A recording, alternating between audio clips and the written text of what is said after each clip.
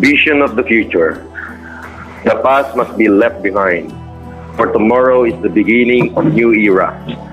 The road to the new dreams of every Filipino.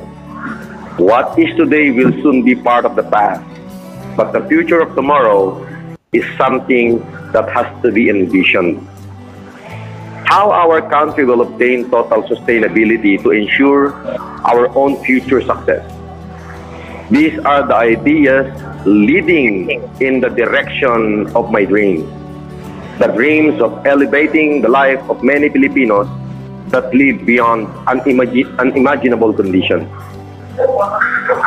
We are living in the world of uncertainty. Many unanswered questions are on the mind of many Filipinos. It is time for change. I want to focus on the solution to the problem of our country by cultivating the resources that are available, tapping into the political, technological, agricultural, economical, and social changes in our society today. This will lead us toward advancement. We must gain equal rights and have mutual respect for each other. No rich or poor, no high or low. We must enjoy the fruit of our labor. My dream is my purpose to offer the rest of my life to reform the lives of many Filipinos.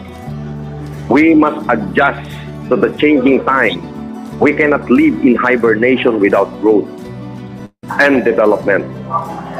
In every sector of our society, let us create together a national unity working, helping each other, sharing what we have, more to those people who have less. We are now struggling for equality and opportunities that is available for everyone. The rich and the powerful politicians always grab more than they needed. The poorest and disadvantaged citizens seldom receive the benefit.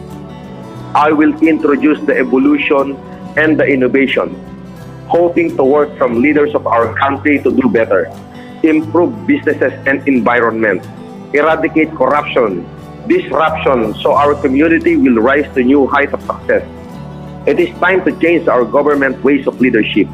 Now is the time to work together to reach our common goal, to make our country achieve the basic need for all and stimulate the individual control of everyone's future.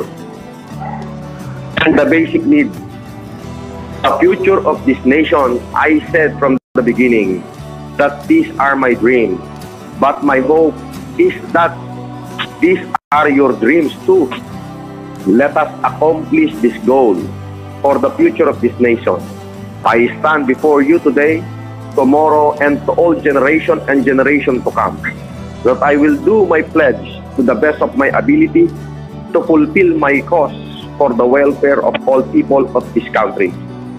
I feel the grief and dismay in my heart. I cannot digest seeing people die of hunger and suffering, malnutrition and diseases, and total inhumane living conditions. It is time for someone take charge and lead this nation.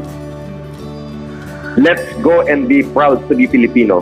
Love one another and love your country. This is my message to everyone. Do not give up. There's a life ahead of us. Long live Philippines. Long live my countrymen. Francis Leo Marcos po.